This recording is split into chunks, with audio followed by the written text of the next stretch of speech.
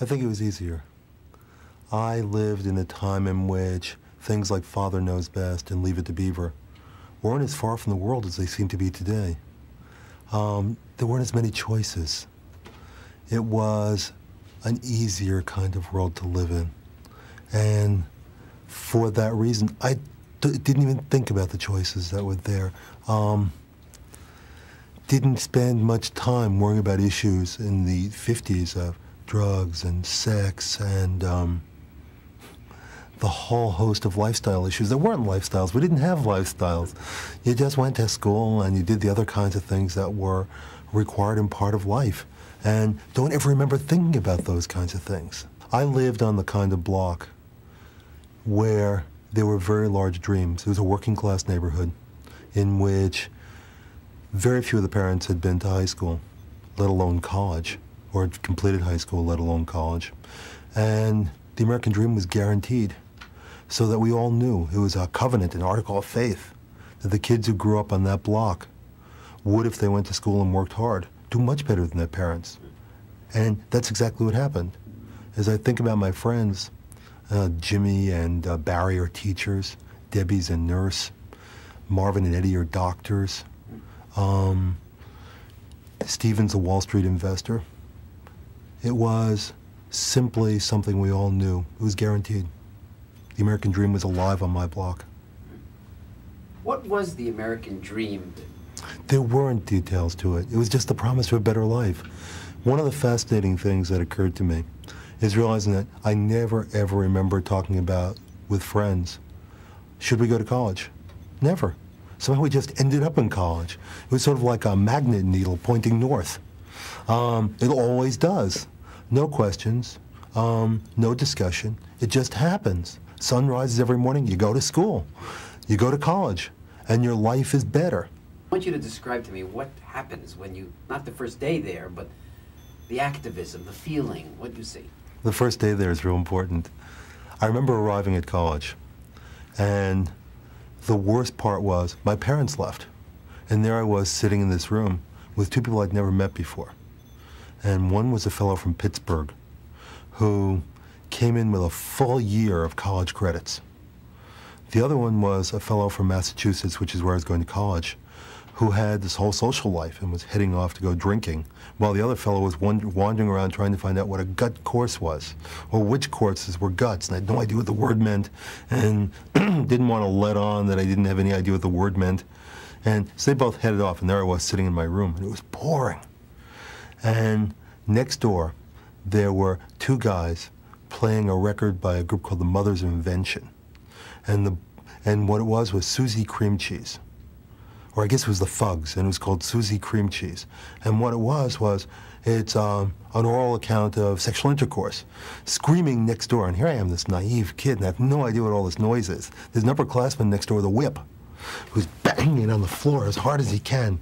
And then there's this guy who is obviously, um, I'd never met anybody who used drugs, who is obviously on drugs, uh, writing on a table outside my room. Now, when I say writing on a table, I don't mean writing on a piece of paper or on a table. I mean, this guy's writing on a table. And I sat there in the rain listening to this thinking, my life has just ended. And I thought, I better write somebody a letter. And I wrote, here I am at college, and this is wonderful. Um, I'm just loving being here, thinking, I hope I can make it through the week. And that was my initial experience in college. What young people don't seem to get is, did you really believe you could change things? And what gave students the sense that they could make all this change and do all these things? What gave them this sense of personal power that they could do this? And what was it they thought they could do? You thought you could do. Kids thought they could do. College kids. The whole world was changing when we were in college. Um, by the time I arrived, we'd had John Kennedy telling the nation, ask not what your country can do for you, but what you can do for your country. After him, there was Lyndon Johnson who promised America a great society. Money was pouring in. We saw people beginning to vote in parts of the country in which they could never vote before. There was a sense that anything was possible. Anything could happen. We were in the heels of a revolution. And that didn't mean a disruptive revolution, but the notion of making for a better society. Um, everybody was talking about a better society. We were watching federal programs pour out like crazy.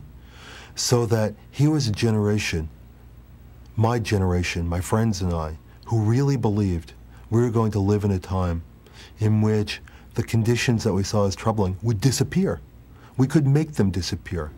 We were a generation, I think, that probably had three things. We had a real sense of hope. We had a real sense of responsibility and a real sense of efficacy, that what we did mattered. And I think that sense of mattering came from a world in which some very large heroes walked. There were people, not only John Kennedy, but there were people like Martin Luther King. There were people like Robert Kennedy. And you watched them make a difference and realized you could too. Maybe you couldn't do it on a national scale. Maybe you couldn't do it alone, but the whole generation together could make it happen. And that was awfully, awfully exciting. So that this stream of idealism was very, very powerful. On one level, when I walk down the street now, I see kids who have purple hair, who have spiked hairdos, who seem to be wearing clothes that are real unappealing. And I say to myself, God, I hope my daughter will never do stuff like that. Of course she will. I think every generation does that. Um, it's a way a generation builds a sense of a we-ness. And I think that's probably a real common thing. It happened in the 50s, it happened in the 40s, it happened in the 30s. Every generation just looks different. I think what's striking about the what we did was that it was such a quick departure and such a radical departure to watch men with hair down to the middle of their backs, um, to watch women with the same hair length, to watch everybody in jeans. Suddenly jeans were a uniform as opposed to work clothes. So that a piece of it, I think, was rebellion, which is we were going to be different.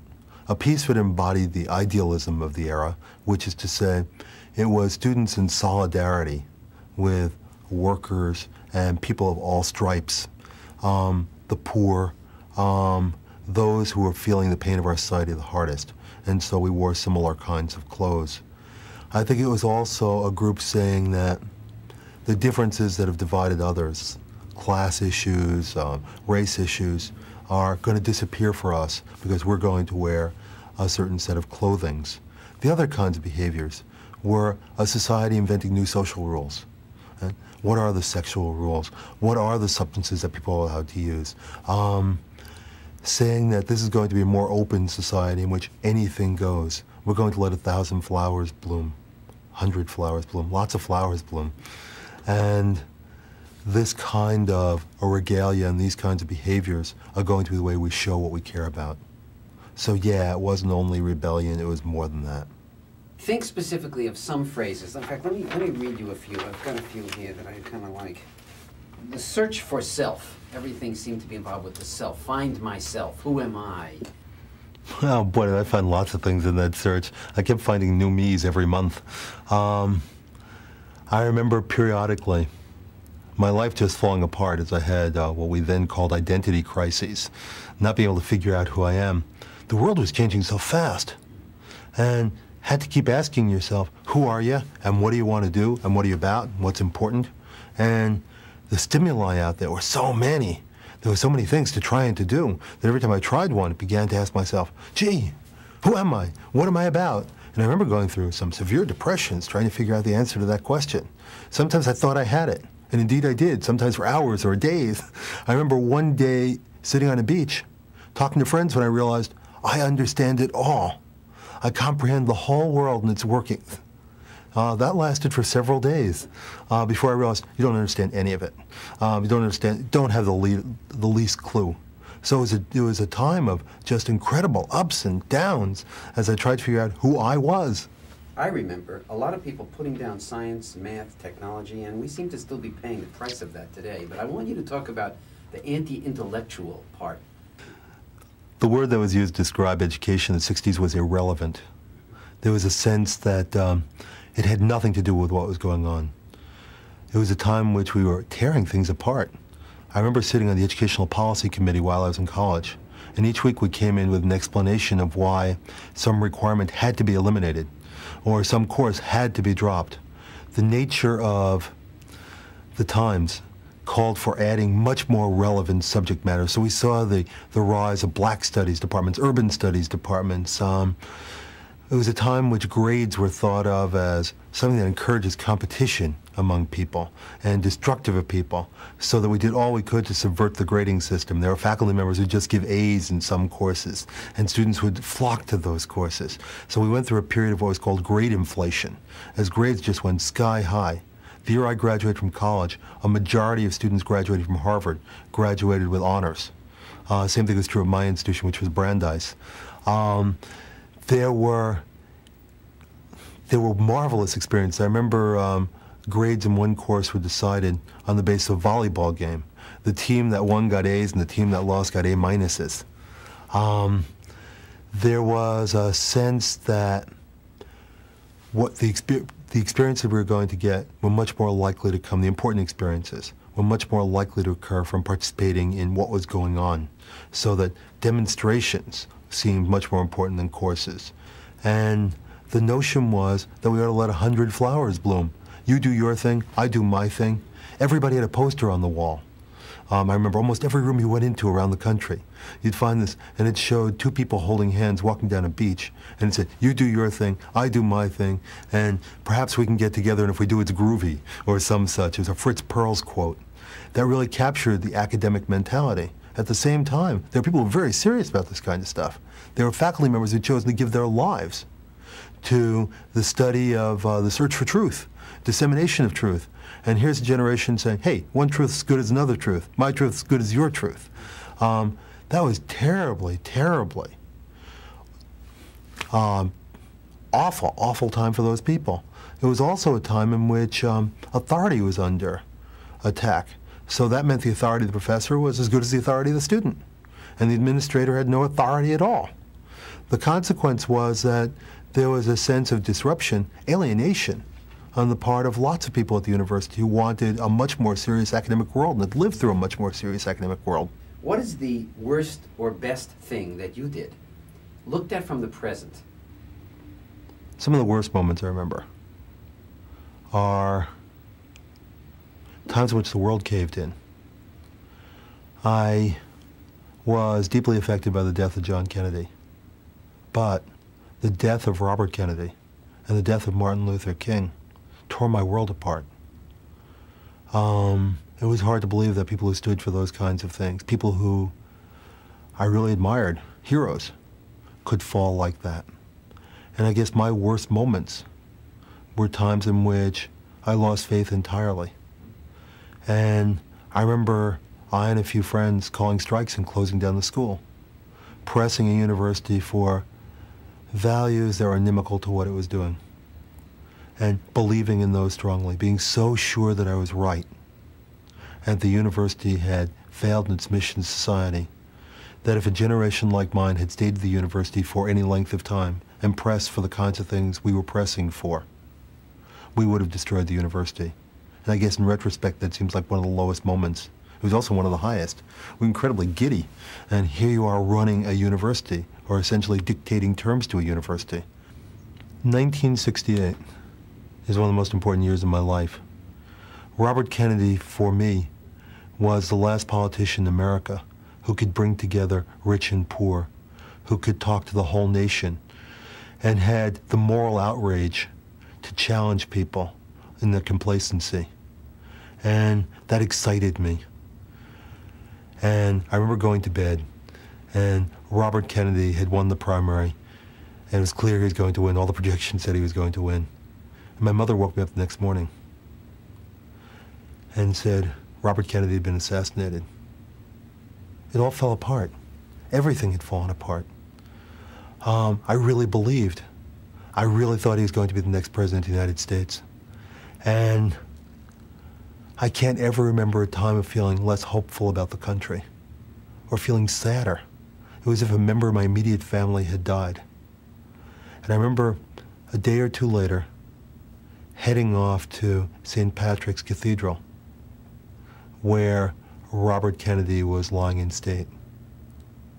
And I waited online. It was very cold. It was a June. It was still cold. And I remember I waited five, six hours just to walk past his coffin and talking to people in the crowd and hearing the crowd, the level of sadness, the horror, the lack of belief that this could possibly be happening. I remember watching the funeral on TV. Robert Kennedy is still one of those figures who's very important in my life. No biography of Robert Kennedy comes out that I don't read. On, the, on my office wall, I have only two pictures that can be called all political. Um, one is a collage of pictures of Robert Kennedy, and the other is an event in higher education history. Robert Kennedy, for me, is still very, very powerful as a leader. In those times in which I forget why I chose education as a career. I ask college students all around the country, optimistic or pessimistic about the future, will the United States be a better or worse place to live in the next 10 years? And the answer I've gotten back in the past is, well, I think the United States is probably a better place to live in the past than it is now, and I expect the next few years for it to be much worse. So I'd say, my God, you must be pessimistic about the future. And they'd say, no, I'm optimistic. And I'd say, how could that be? And the answer is, I have good grades, I'm going to get a good job, and I'm going to make a lot of money. What happened is today's students, or previous generation recent students, have essentially adopted Titanic ethic. There's a sense the ship, and call that ship the U.S. or call it the world, is going down. And that as long as they're being forced to ride on the doomed ship, they're going to make the voyage as luxurious as possible and go first class. And that's meant good money, good jobs, and very little concern with social issues.